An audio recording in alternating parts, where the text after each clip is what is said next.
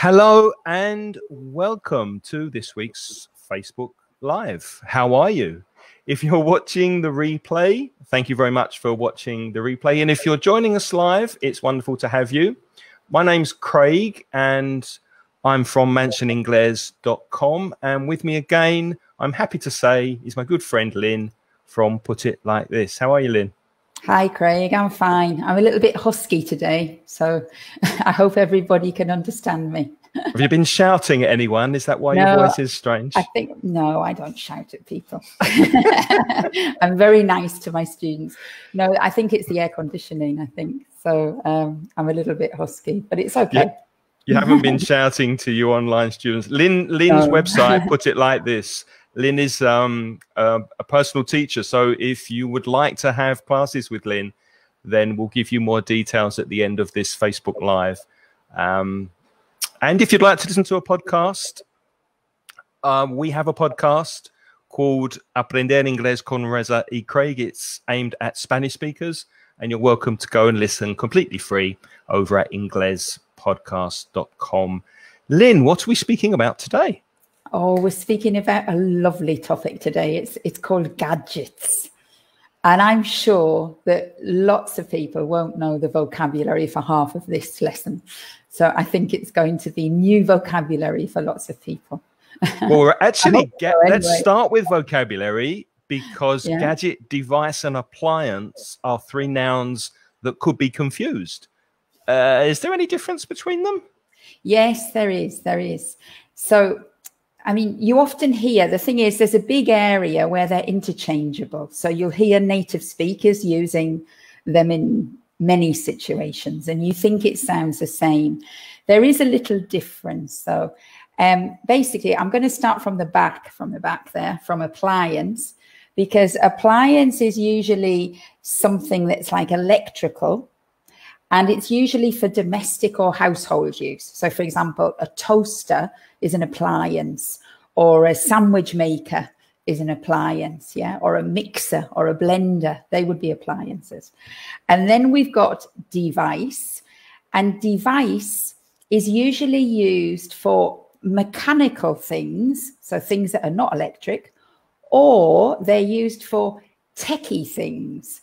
So things now that go with the internet, with the mobile phones, any little sort of add-on things with Bluetooth, they're often called devices. Yeah. And then the lovely word, which I love, is gadget. But it's a gadget. bit difficult to pronounce, isn't it? Because it's got that j in the middle. J. Gadget. And um, gadget means a device. It can also mean um, an appliance, right? So it's something that helps you do something more easily. But we often use the word gadget when we don't know the name for the thing. So, like appliance, we know, for example, it's a toaster. But sometimes we have things and we don't really know the real name for them. And if we don't know the real name for them, we often call them gadgets. That's one idea. And then there's another idea behind the word gadget, and that is that sometimes if people, if many people think that the device or the appliance is not very useful, then they talk about it as being a gadget. And the it, and the idea there is that it's not really necessary. It's a little bit gimmicky. It's a bit it's a bit over the top. Yeah. Also, maybe older people like our parents who are not used to technology yeah. might talk about gadgets in an annoying way like oh this stupid gadget never works and what's the i don't understand this stupid gadget so it's often used in a negative way to describe exactly. some complicated piece of, of, of technology uh-huh. just want to say a quick hello to people we're being joined lynne by people from all over the world oh, Hema's, yeah, Hema's here from Madrid uh-huh. hi Hema hi olivia is with us claudia hello welcome and Coque from I don't know where Coque is from. Are you based in Spain, Coque, or abroad? Katia from Costa Rica.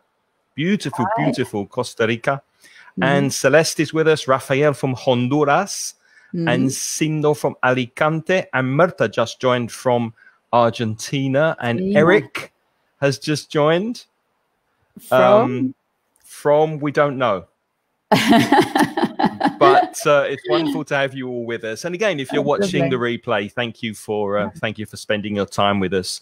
So yeah, Lynne's just explained the difference between these these words, and what we'd like to do is to show you some gadgets that we have at home and do a negative positive. So the first gadgets we're going to talk about are ones that are really useful and then ones that are maybe a little bit disappointing.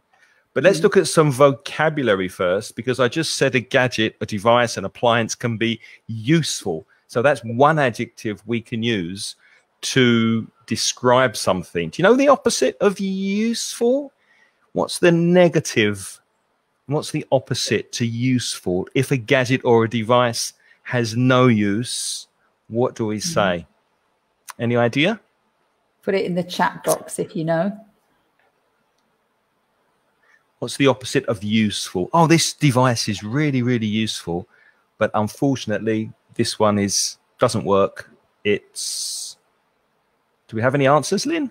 At the moment, I'm just seeing that we're getting more people from Guatemala and from wow. Nicaragua, from Huelva in Spain but nobody's put the answer up yet, or maybe. Oh well, we'll tell you. The opposite of useful is useless. useless. So that's the negative uh-huh. adjective. Lynne, what other vocabulary can we use to describe gadgets, devices, appliances? Uh huh. Well, we often, when something is really useful, we have another word for it, and we say it's really handy. Handy, like the word hand. Yeah. So we say it's handy. Yeah. You, you uh, speak German, don't you? That's isn't that German yeah, for mobile phone? That's right. In Germany, they say handy is a mobile phone, but not in Britain. Yeah, in Britain, handy just means that it's like useful. It's very, very useful. Uh-huh. mobile phones are handy. They're very handy. Yeah, they are. They are very handy. Uh-huh. Another one that's a bit more formal, you could say, is labor saving. Labor saving.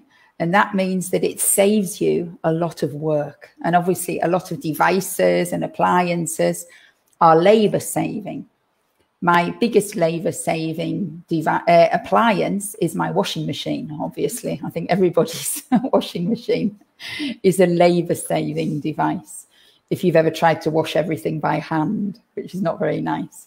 you know, we've had so many appliances break this year. It's just been uh-huh. a year of bad luck with appliances. Our washing machine broke in, oh, at the no. beginning of the year. Today, our dishwasher broke. Mm-hmm. We have a mm-hmm. small dishwasher that that's broken. We had the part of the oven break. So we've had four or five different appliances break this year. It's been really, really bad luck. But that's often because you bought them all at the same time.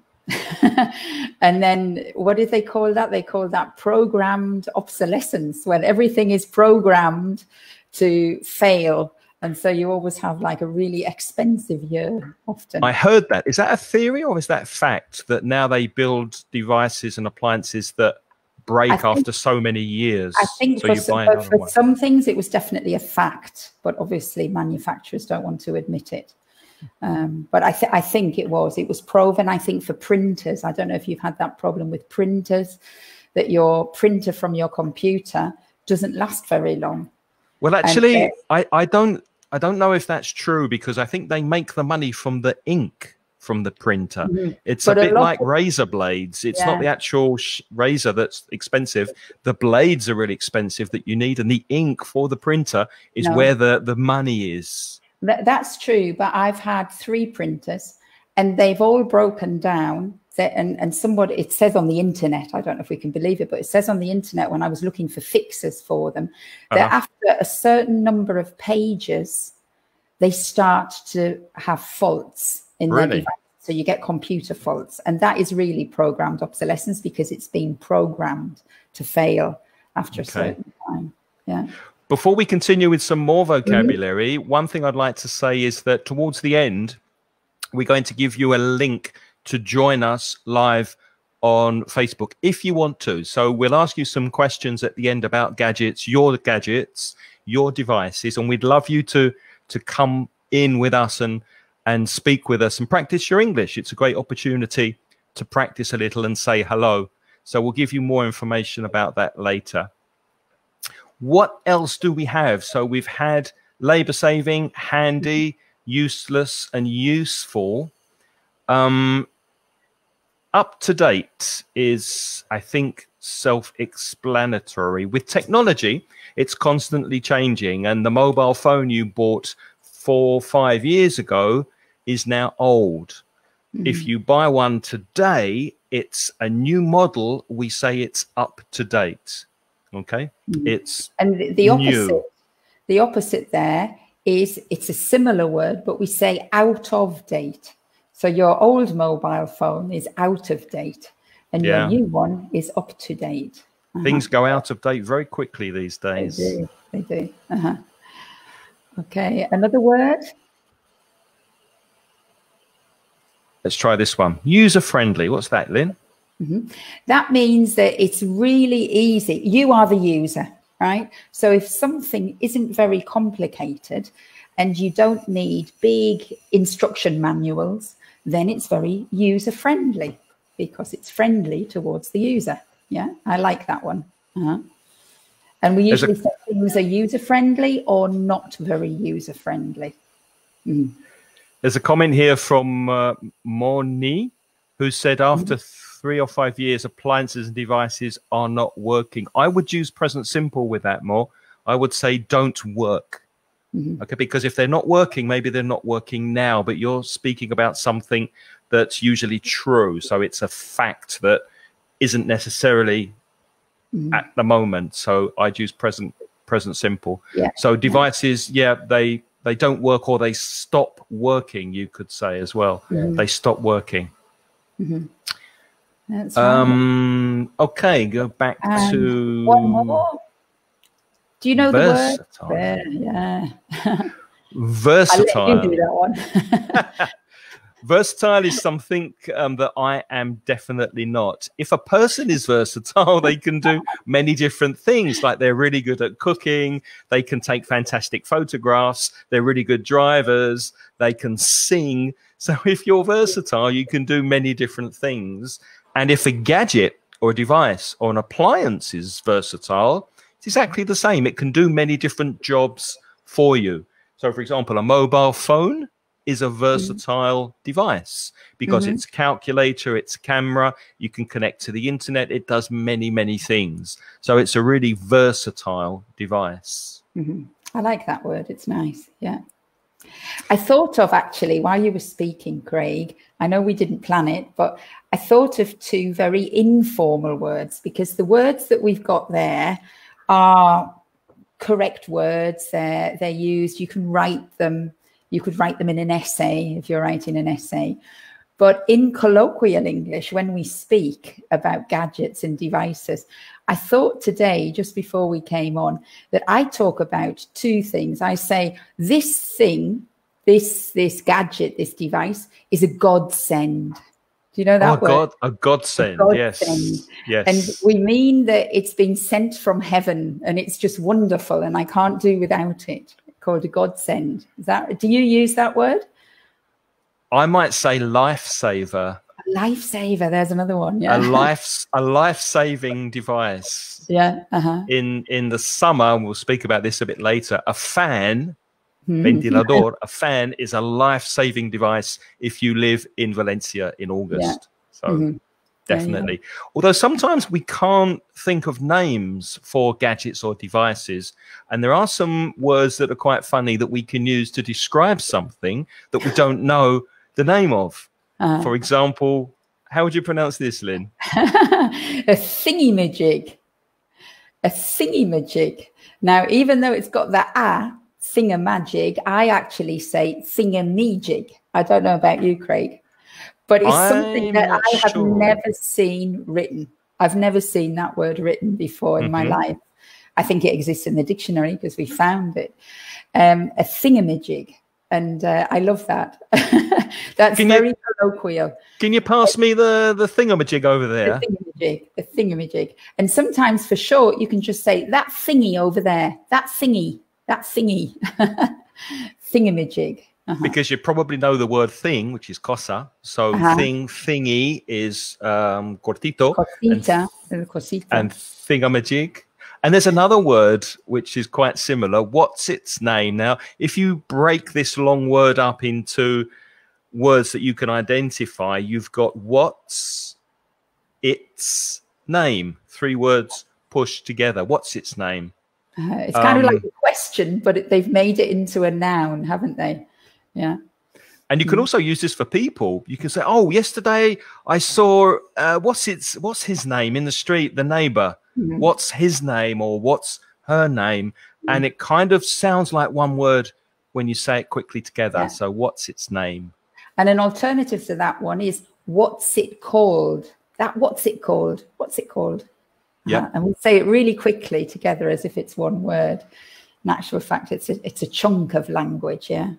So mm-hmm. thingamajig. Quite informal, aren't they? Those those last three, thingamajig, what's its name? You don't really see those things written. Yeah. Right. Yeah. You you probably maybe in dialogue if you're writing dialogue, but usually there it's spoken English, not written English. Yeah. Yeah. That's right. So we're going to look at some gadgets and devices now with you. But before we do that, there's a very common expression we use when we're speaking about gadgets and devices, and we're describing what it's used for. So you could say it's a thingamajig or, a, or, or a thingy or a thing you use for doing something. Mm-hmm. Be careful of those prepositions because with preposition for, if you use a verb, it would be a gerund, an ing verb. For example, it's a thing you use for cleaning the floor. Mm-hmm. And with the two, it's probably going to be the infinitive of the verb. So it's a thing you use to clean the floor. Mm-hmm. Yeah. So, shall we jump in and do this, yeah. Lynne? What do you uh-huh. think? There, that's think that's. So.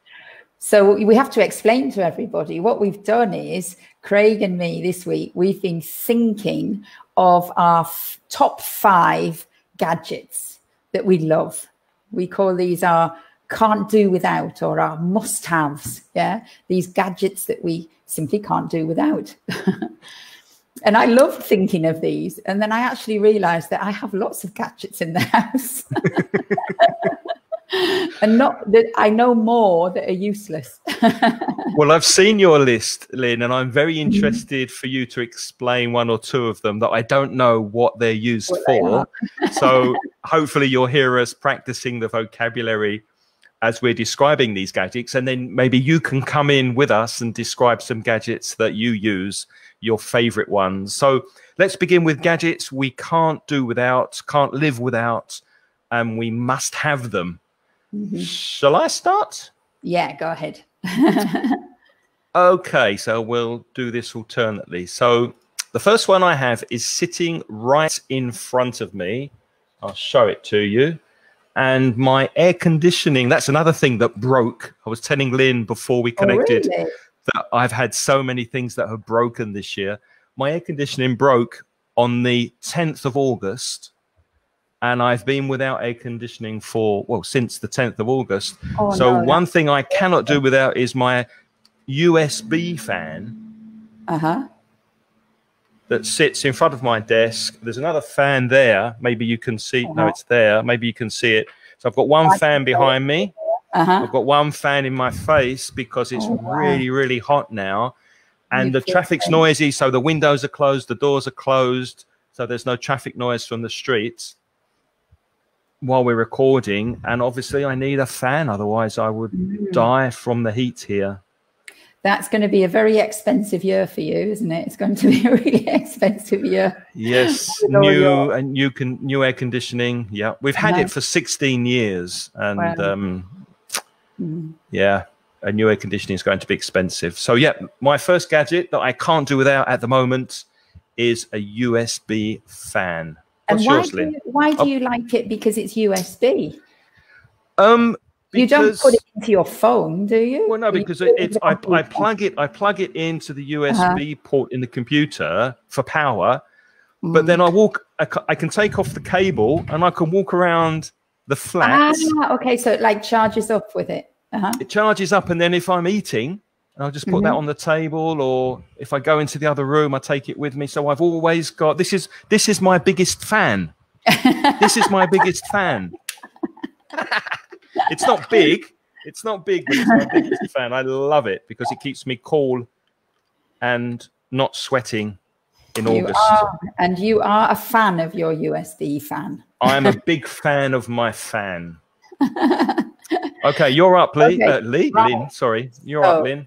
My must have, must have for everything is, and I have two to show you, is my Bluetooth portable speaker.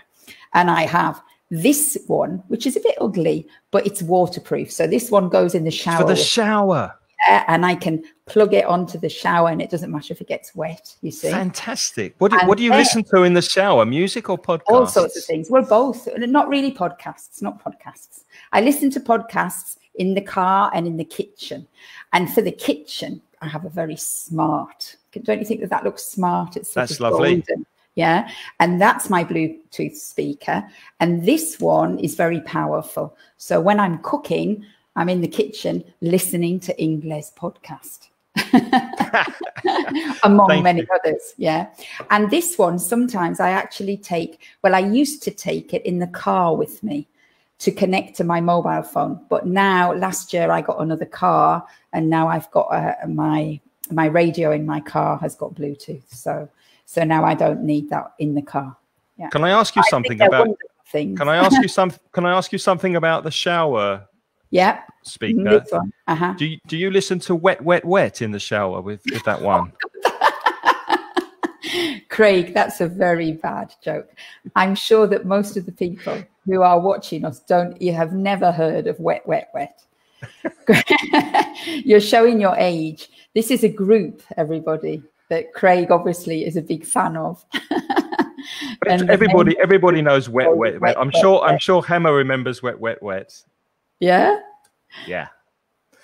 Okay, number two for me. Mm-hmm. Um, Let me have a look. What number two for me is? Oh yes, of course.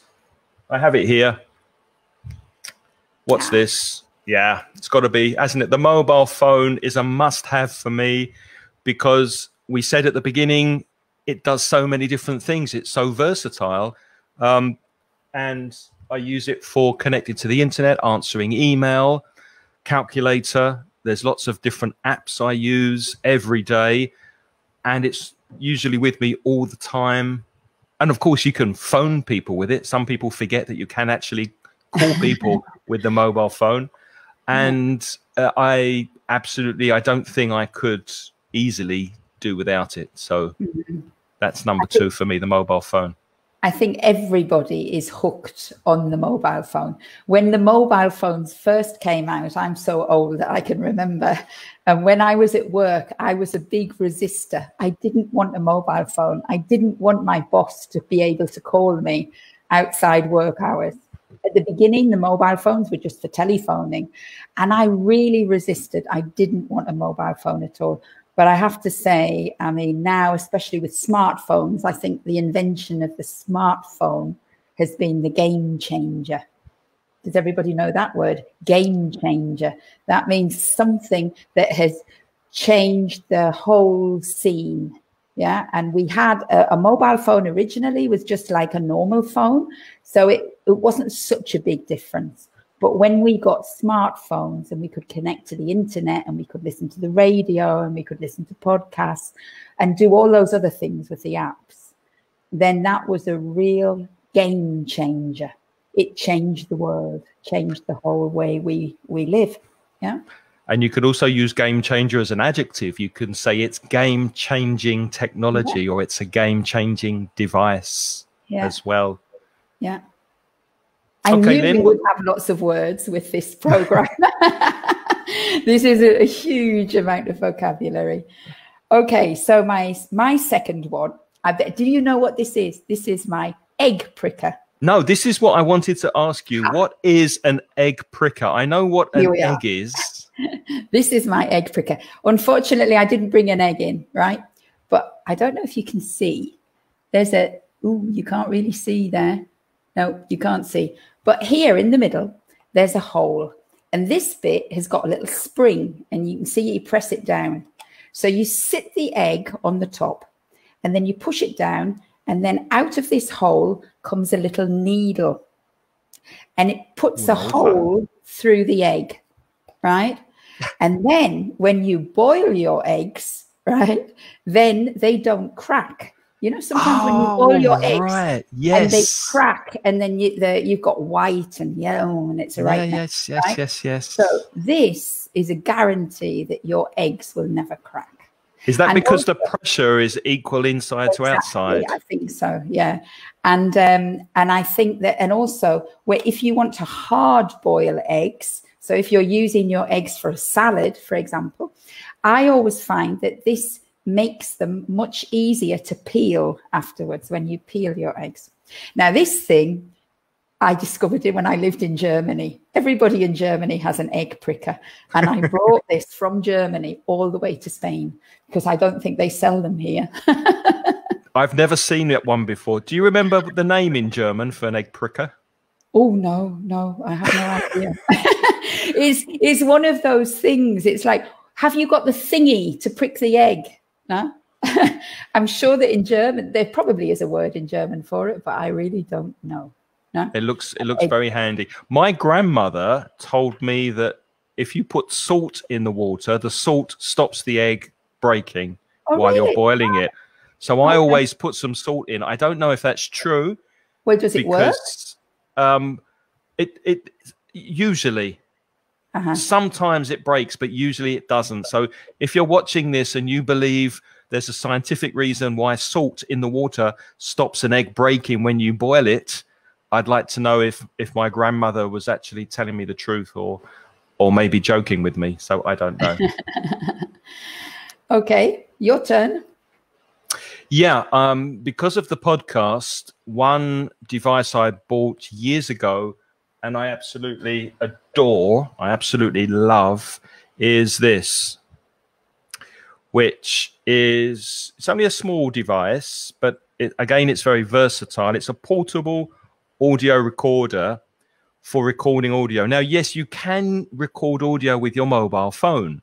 And these days, smartphones have very good microphones. But this device enables you to put four microphones separately in there.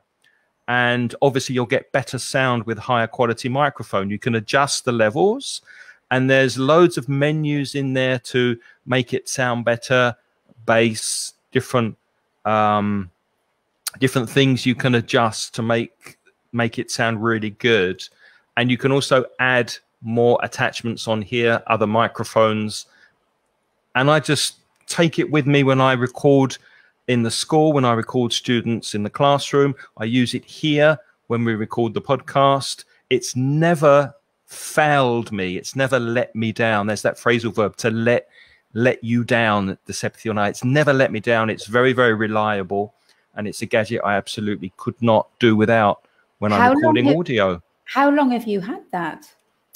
I've had it for so long that it had rubber on the outside and the rubber in with the salt air because I live near the beach in Valencia. So the salt air has destroyed all of the rubber. And I wow. think it's probably eight years old now, wow. seven, eight years old and I use it every week.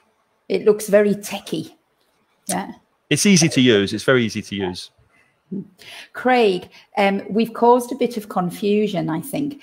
Uh, some people are writing in about the egg pricker because apparently um, on the subtitles, Monica saw egg cracker. But egg um, cracker? Yeah, but Let we didn't me... put egg cracker, did we? Let me check. Maybe she's right. Egg pricker. pricker. No, pricker. And then somebody else asked, um, Monica also asked, what does it mean to prick? Well, to prick is when you have a very, very sharp needle. And if you prick your finger and a tiny bit of blood comes out, in that famous fairy tale, I don't know if you remember the fairy tale. What is the fairy? Sleeping Beauty. In the fairy tale of Sleeping Beauty, where the princess, she's I think what she's doing, she's spinning wool, isn't she? And she pricks mm-hmm. her finger and then she falls into a sleep for a thousand years or whatever. I can't remember everything of that. And also, of course, now in COVID, uh, with with with COVID nineteen, many people are getting tests to see if they have any antibodies. And it's been on the television here, and you see them. There's a test that they have where they take a, a needle, like the one that's in here, and they just prick the finger and they take one drop of your blood. So to prick something is what you do when you have a very, very sharp point and it pricks your skin. Right. And sometimes when you go to the hospital or the clinic to have a blood test or to mm-hmm. give blood, the nurse might say to you, don't worry, it's just a little prick. It's just a little prick in your skin. Mm-hmm. So here it's used as a as a noun, but the verb to prick is to pierce, make a hole with a very, very small needle. Mm-hmm. And, and, also, also in the sorry. garden, can't you? You can prick your finger on a rose, on a flower that has a thorn, you might prick your finger and hurt yourself. Ever was confused with pelador, which is the verb you use when you were speaking about the egg. Ah, to peel to peel. Uh-huh. So pelador is a peeler, like a potato peeler, a vegetable peeler, mm. and the verb is to peel. To peel, yeah. P W E R. Uh-huh. Joss says that my country we actually do not know these devices. The only egg I know is to egg myself on. Very good. Like That's very good. right. And you better explain to people what egg myself on is because they might not know. That's is it, isn't it to encourage someone? Isn't it to anim, animar? Like animar. to egg, yeah, to egg, egg someone. Come on, you can do it. Come on, let's go. Egg yourself on. Yeah. Uh-huh.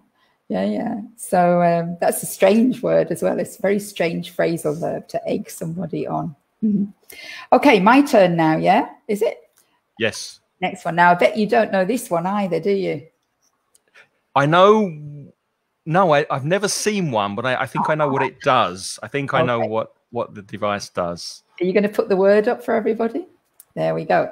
So, a fringe or a bangs cutter. Here. Now, your fringe is this. In British English, we call this, this flequillo, we call it a fringe. And in American English, it's called bangs, uh-huh, which is a really strange word. I don't know why the Americans call it bangs, because bang is normally a loud noise, isn't it? Bang. yeah. Okay. And um, I've got children, and when they were little, my girls all had fringes, and their hair used to grow so fast and I used to cut it myself because I was trying to save money and not take them to the hairdressers just for the fun.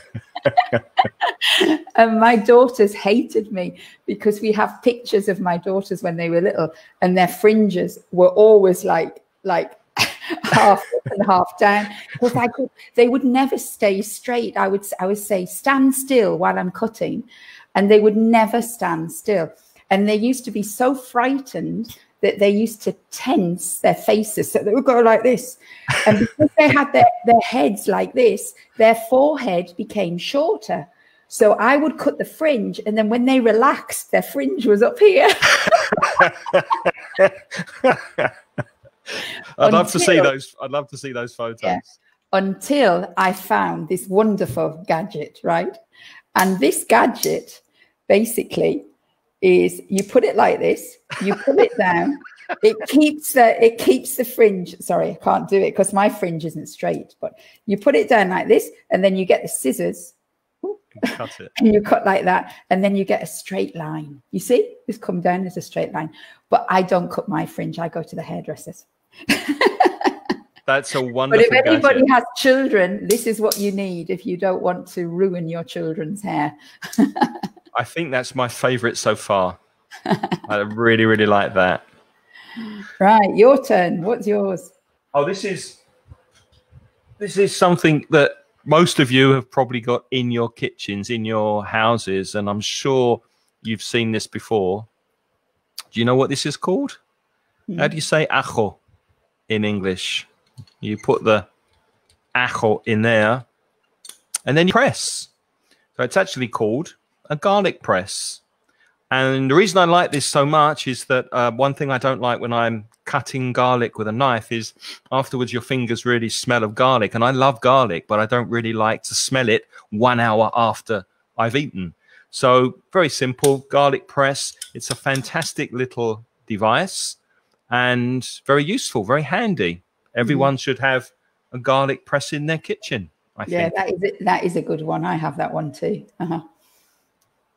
Okay. Next one.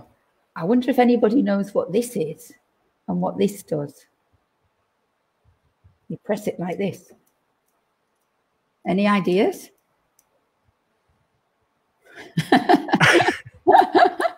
it's called a staple remover, but does anybody know what it does? Do you know what that means? Okay, so on your papers in the corners, I don't know if you can see that, you have these little metal things. That's called a staple. Yeah, that comes from a stapler, right?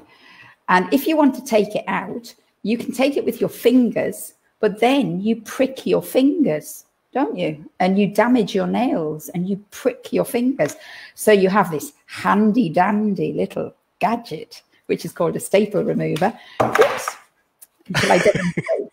Yes. you put it in here and you squeeze, and out comes a staple. Look at that. Magic. My nails stay perfect. When I saw that lid on your list, I thought, have I got, I had a staple remover. I have no idea where it is because so much now is digitalized, Yeah. which Uh-huh. connects to my final um, must have. Uh-huh. And I can't remember the last time I needed to take a staple out because I don't work with much paper anymore. Do you work with a lot of paper? Do you use Mm-hmm. I that? do. Oh, Yeah. do. I do. I do. I have to say, I'm a bit old fashioned. Uh-huh. Yeah, Sindo said it's quita grapas, staple remover. Well done. Well done, Sindo. well done. Uh-huh. Well done. Okay. Well, my my final um my final device, gadget, It's a big appliance. I'm, I'm not.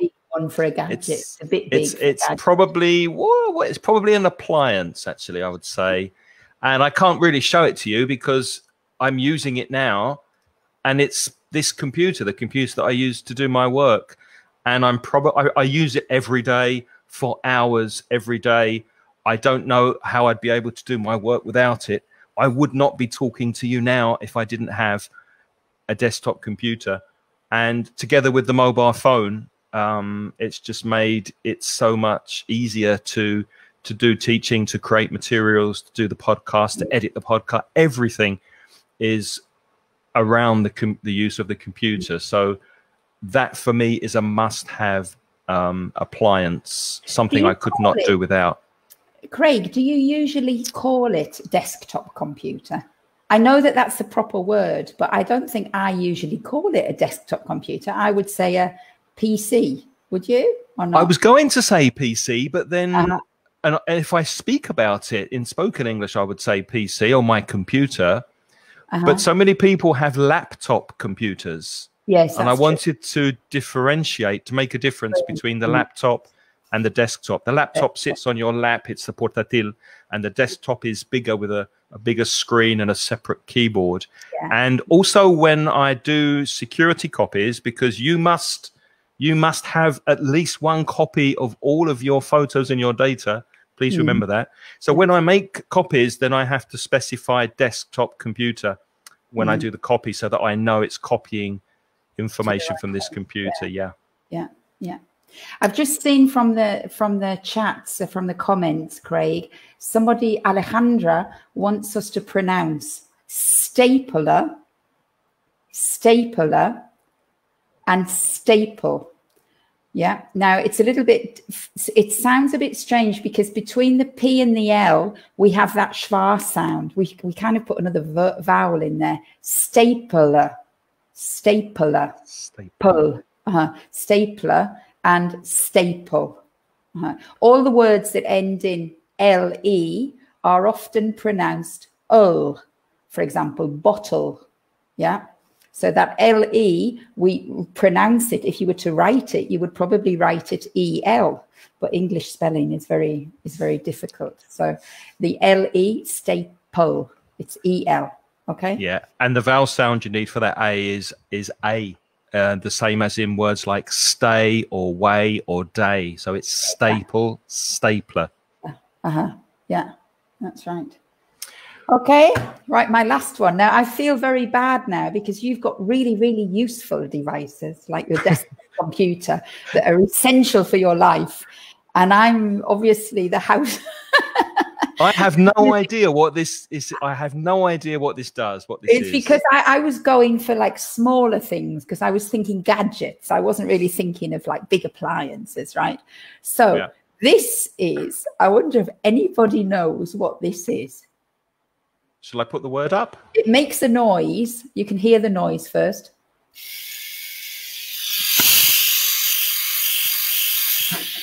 Hmm. Can you? Anybody know? Shall I show them? I think so. Uh-huh. I think it's like going to be different. Right. This is an electric lint remover. What is Now, lint? What is lint? So, on your cloth, on your material, on your clothes, sometimes, especially if the clothing is synthetic or if it's um, wool, sometimes the more you wash it, you get little tiny balls of lint, right? Now, this is where the material, the fabric, forms itself into a little ball. Often on, on wool jerseys, yeah, or, or pullovers, you get little balls. And then, of course, it spoils it because it looks old and it's not very nice, you see. Or if you have flannelette sheets for the bed and they get full of all of those little balls, it's very uncomfortable when you're in bed. Yeah. So you have to have this handy dandy lint remover. And this is like a, it's kind of like an electric shaver, but you don't use it on your face. you use it on your clothes. And then it, it kind of cuts off all of those little balls, the little balls of cloth. Then you can remove this and then you empty it in the bin. Okay, there's there's a ball from my last lint removal session. Is that So- another? Is that another device from Germany? No, well, well, no, actually. Now these things have been around for many, many years, but it's Never really seen it before. It's I know because you could only buy them. My mum bought one years ago, like 30, 40 years ago. And she got it through mail order catalogs. You know, they were only sold on special like mail catalogs. Look at this wonderful device. And she bought them for me and my sister when we went away to college. And I always wanted one. And the thing is, they break, they don't last forever. And it's very difficult to find them. But I am beginning to find them here now. They come into Lidl or to Aldi every now and again. and then I buy another one for the future. Very interesting. I like that very much.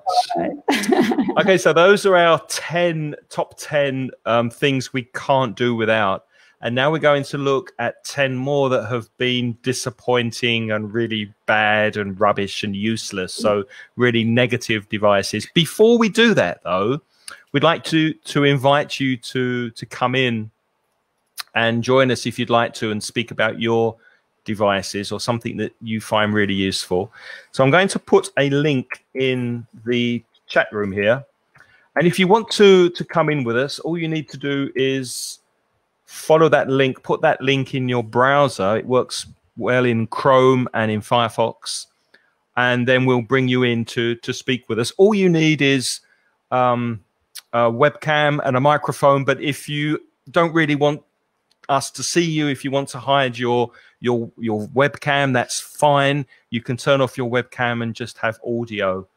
So um, come in and, and say hi, say hello, and tell us what gadgets you really like. It'd be really nice to to speak to you. Mhm. So let's continue, Lynne, with biggest disappointments. Disappointments, rubbish. Now, this was problematic for me because I had a big clean out recently and I threw away all these things because they're so bad. So, some of them we've only got pictures for, right? Uh, here's my latest. Here's my, I haven't thrown this away yet. This is my latest rubbish gadget, right? What is it? This is a tea bag saucer, or it's a cooking spoon holder. now, it's really useless. It's very useless.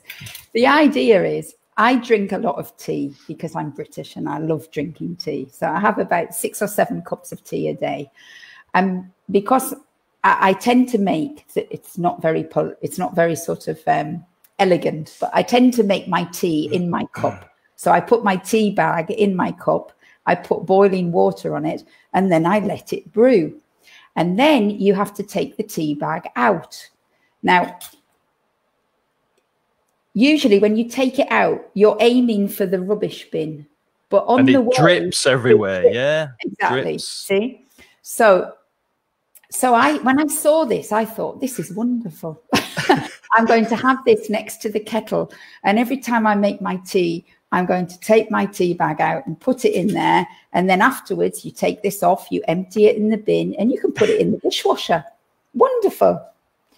The problem is, I'm too old and I have over 50 years of experience of taking my tea bag out and putting it in the bin. So, although it's next to the kettle, I ignore it. I just don't see it. And so I continue to drip on the way to the bin. And this has been sitting in my kitchen for the last year and it's never been used. So why haven't you thrown it away yet? I don't know. I'm going to throw it away after this program, right? after this program. I'm not putting it back in the kitchen.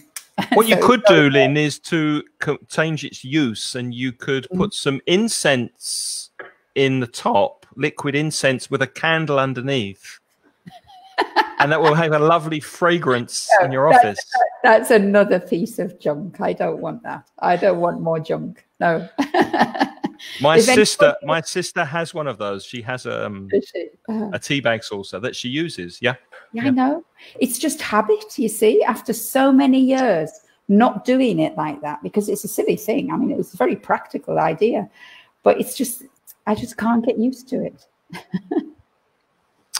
Okay, well, we've got some photo. I think I'll I'll go out of order because I'll sh- I'll, I'll leave the photographs until last. So, um, one disappointing thing for me, and I don't actually have them to show you, but these aren't the actual ones I'm disappointed with. But just to show you the kind of thing, these small Bluetooth earphones that pair with your mobile phone so you can listen to music and podcasts. I bought um, a cheap pair and they lasted maybe six months and then the left one stopped working Mhm. and there was no guarantee. It, it was something from China. It was very cheap.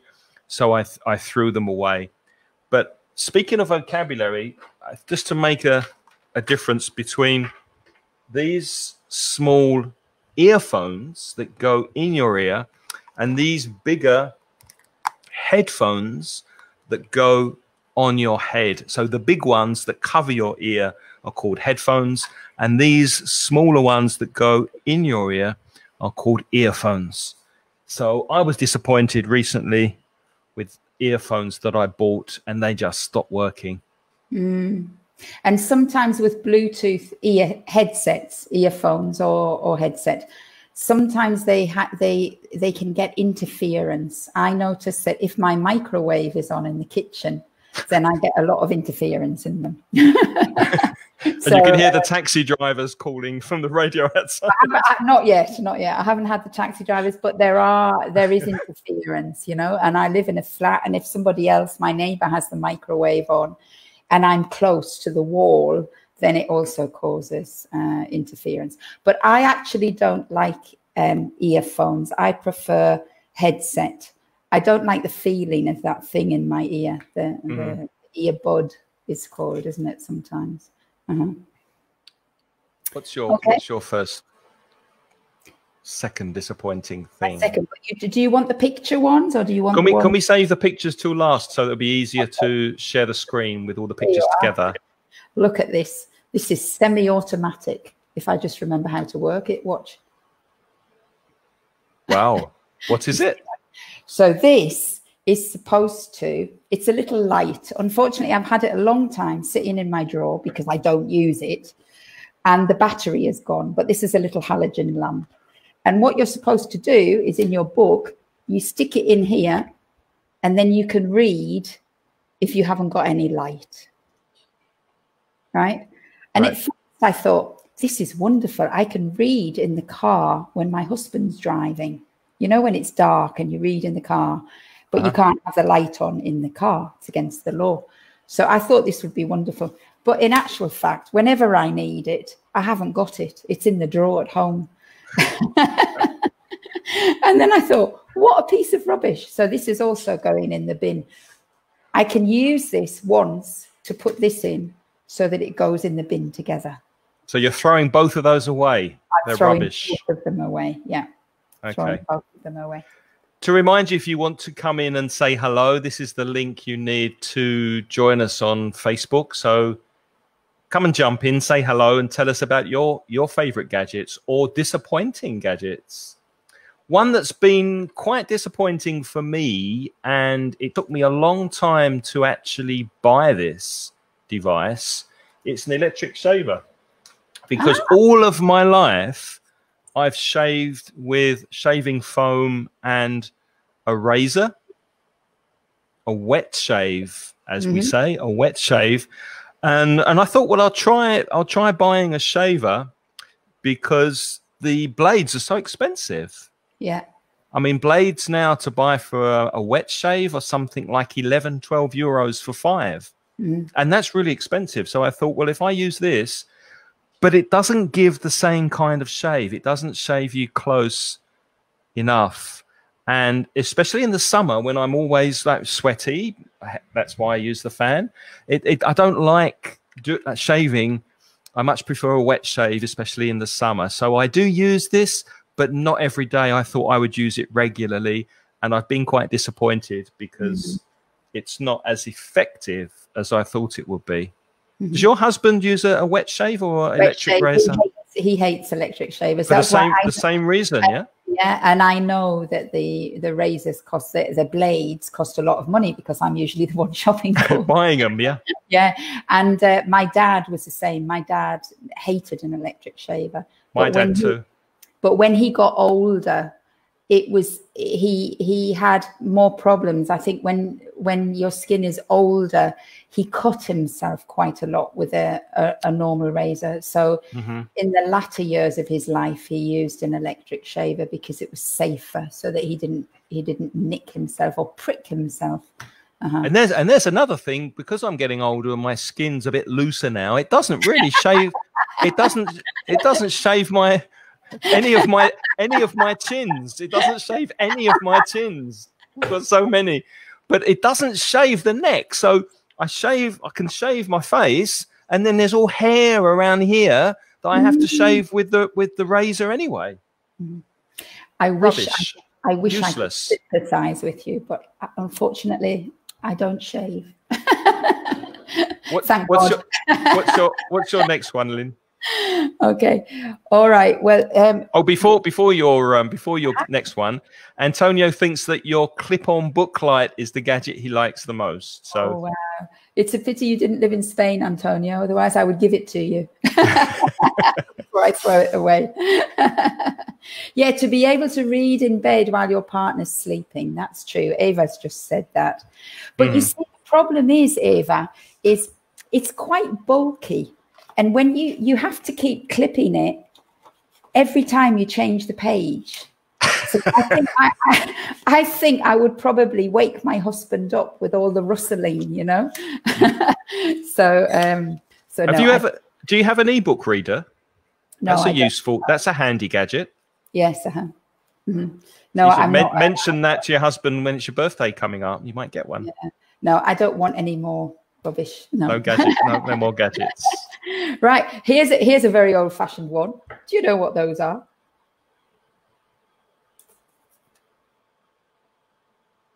What are they, Craig? Bookmarks. bookmarks. Uh, I don't know about you, but people always give me bookmarks. I get bookmarks all the time. Alejandra's saying bookmarkers, but not bookmarkers, bookmarks. Yeah. A marker is actually um, a marker pen. Yeah. So don't say ER on the end. Don't say marker. You say bookmark. Yeah. Bookmark. And um, people give me bookmarks and they are pretty, you know. But again, it's because I'm very lazy. just like with the tea bags. So this is me. I'm in bed with my book. If it's a nice book, it might have this, which is great. That's my bookmark, right? And when it hasn't got that, I just turn the pages at the top. Oh, but that ruins the book, though, Lynne. That ruins the book. You can't turn the pages. You're a purist, aren't you? You see, I'm not. I'm a philistine. And when you do turn, when you do turn the corner of the book, it's got a lovely name. It's dog ear. It's a mm. so if you have a book that's full of those um, folds at the top of the page, it's dog-eared. It's a dog-eared book. It's well all used. Of my, all of my books are dog-eared. all of them. But that's what gives a book personality, you see. And I use. With the sorry, I, since I never have them. Yeah. I, I use post-it notes as bookmarks because you can also write notes on them if you see something interesting uh-huh. and then when you close the book you just pass it to stick it to the next page and it doesn't damage the book yeah yeah uh-huh. post-it notes oh, uh-huh. i think Al- alejandro no alejandro says no so um yeah, I'm. I agree with Alejandra. You can't. Yeah. Is that a response to me turning the the pages on the books? Emma said, I really like bookmarks. Yeah. so, okay, what about you? Have you got another one?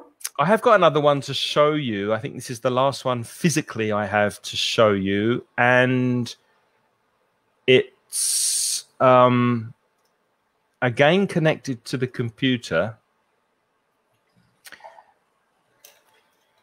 And it's this.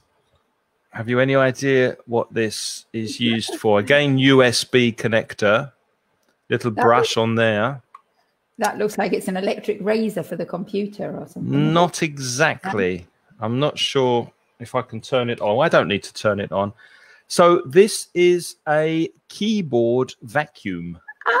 So when you if you get a keyboard that's full of biscuits and crisps and pieces of sandwich then you you brush that you you connect it to the USB, and as like a proper vacuum cleaner, you've even got a attachment that you can vacuum off the crumbs and the dirt from your keyboard. The problem is, who gave you that? Did you actually, buy that for no, yourself? Actually, it belongs to my wife. Ah. My wife got this somewhere, so she she. But the problem is, and I have tried it. It's too weak. Oh, it doesn't have enough vacuum power. It doesn't suck enough. So mm. it doesn't really clean the, the, the, keyboard. So what I prefer to use to clean the keyboard is just this compressed air that you just do this and that gets away the dust and the crumbs and the biscuits from the keyboard. You but this is I completely think? useless. It's a useless gadget because it's not strong enough to vacuum the, the dirt from the keyboard. Do you know what you can do as well, Craig?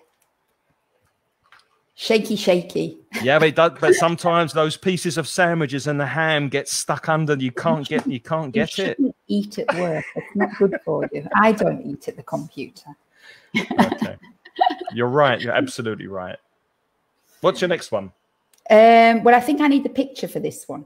And okay. this one is truly, truly useless. It's the biggest piece or the littlest piece because it's not big it's the smallest piece of junk, right? I could use a stronger word, um, but I won't. but it's it's a useless gadget.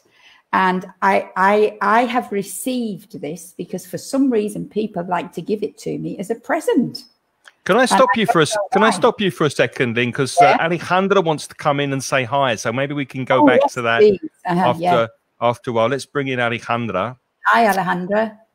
Hello. Hello. Hi. How are you? Fine. Where are you speaking from? from Cadiz. From Cadiz. Mm-hmm. Is it hot down there?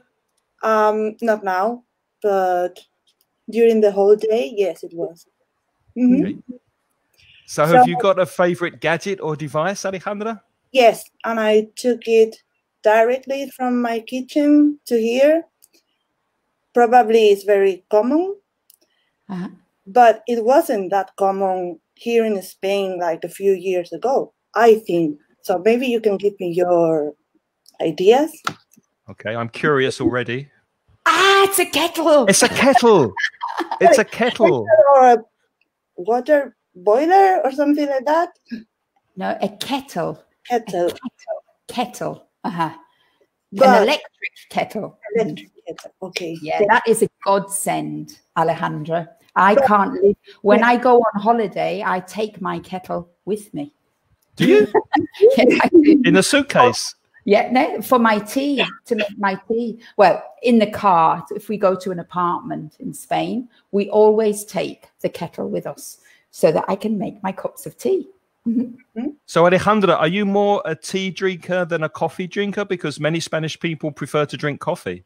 That that's why I took this because we didn't used to have this in the past because we are not tea drinkers. Yes. Mhm. We we prefer coffee. Uh, but now we use it for everything. Now, I mean, you couldn't find it in the stores in the past. And mm, once you got one, you saw it was cheap.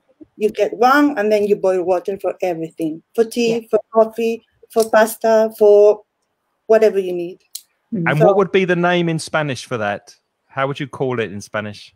Mm, calien- no sé. Calientador de agua. No, I think they call it, don't they say hervidor de agua? Hervidor, un hervidor. Hervidor. Hervidor. Uh-huh. Hervidor. Uh-huh. Yeah. That's it. Yeah. No, I agree with you, Alejandra. It's a must have. A must have. I realized that in the last couple of years. Yeah. Mm. So I use it So- every day. So, You're already you're already very British. yeah, but I drink um, Japanese tea. oh. I prefer Japanese tea. Green tea. Green tea is Mhm. nice. That's right too. Uh-huh. Great. Okay, well, thank you. Do you want to share any other gadgets, or was it just the just one gadget? No, it's just to tell you that I just landed here. I've known you uh, in the past as La Mansión del Inglés and so on, but I've never seen your videos. And just by chance, I was Mhm. on Facebook, I found you, and it was something quick like, okay, I want to participate, like really quick. Well, That's thank you very much. It's lovely talking to you. Thanks for coming in and joining us. Yeah, and I love hearing you, and I learn a lot. And thank you very much to you.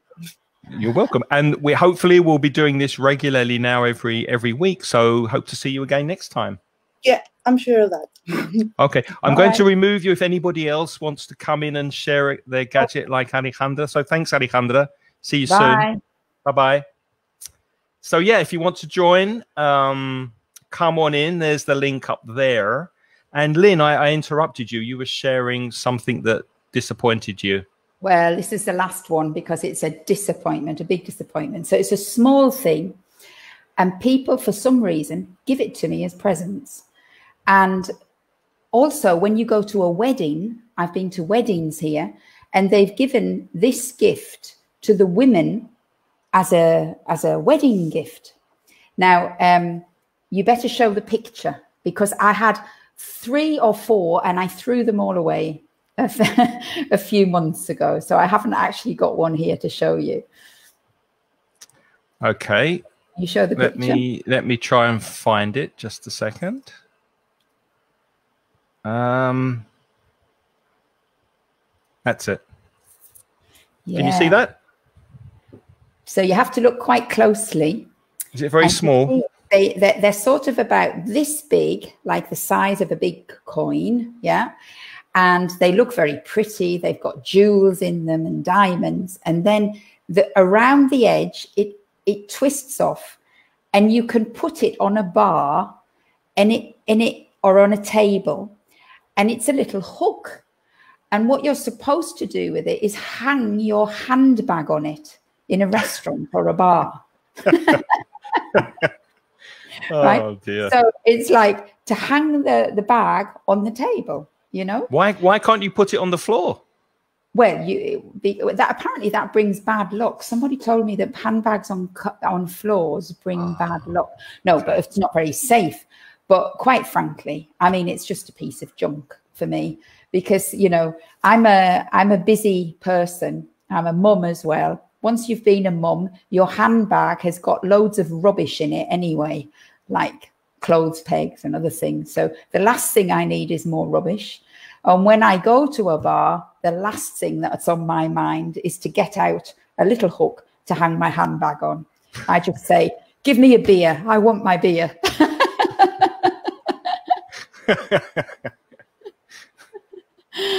so I don't know who invented them. And for any friends out there, please don't buy me anymore. I don't want one.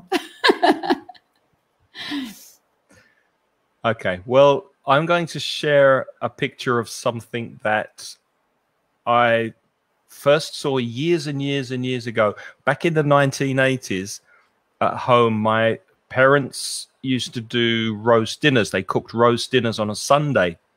And if we had a roast turkey, for example, my dad would stand at the end of the table and with the turkey in front of him, and he would t- take out something called an electric carving knife. And this is what it looks like. So the carving knife, if you can see this, is whoops, that's not it. That's it. It's quite big and it has a cable and, and sometimes they're battery, but back in the 1980s, it had a big cable.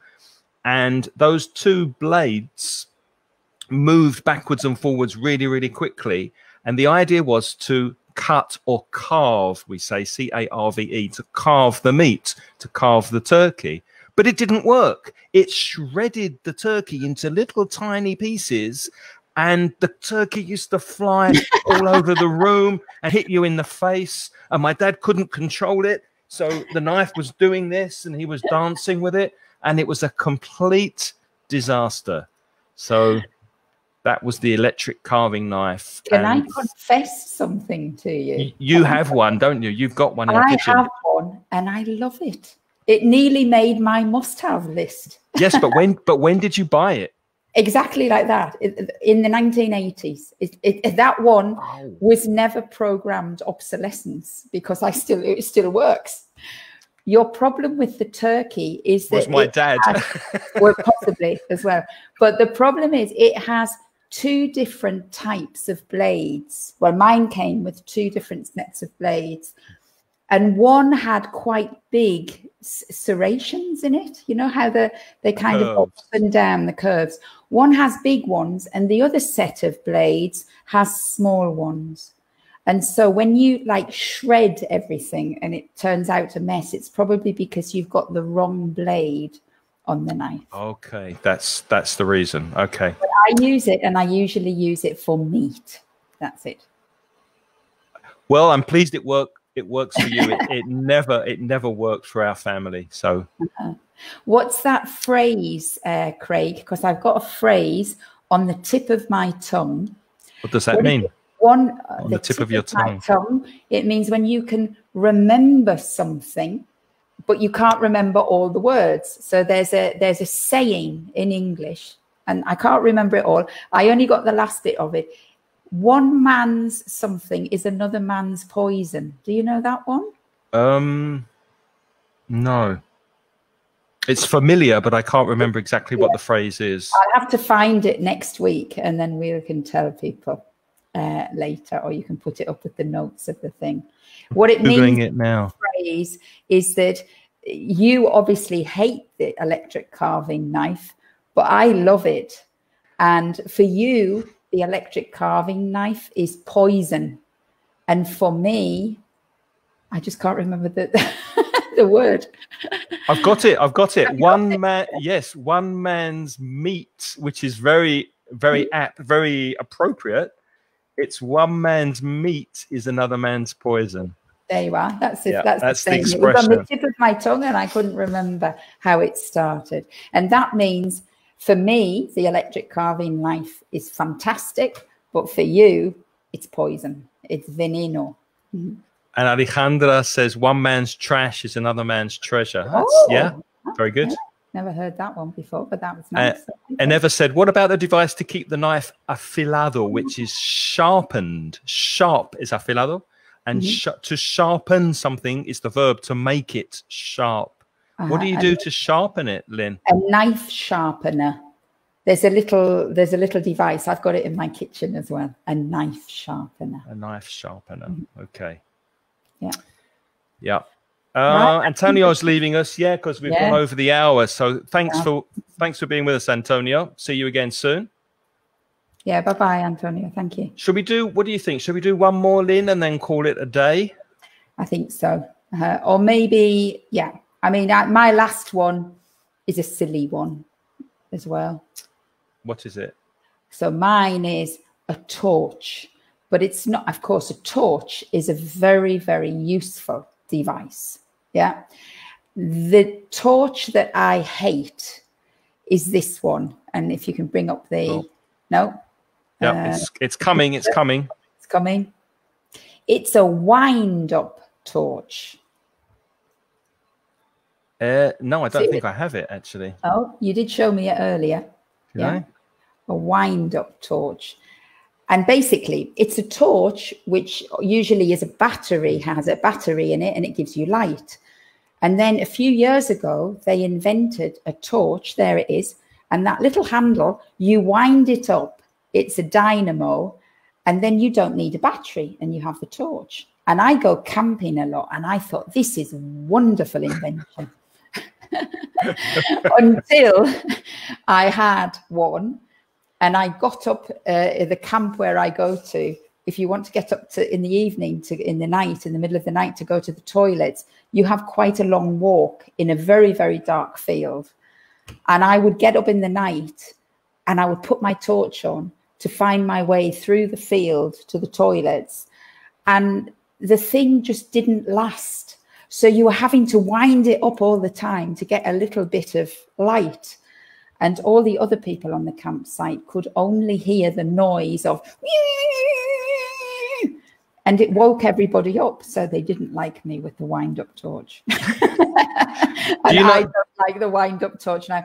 I mean we have batteries so why don't we use batteries when we can? Yeah craig i think i've lost you so there you are i obviously um, killed Craig with my wind up torch story. Right. Now, I see a few people having to go night night to you too.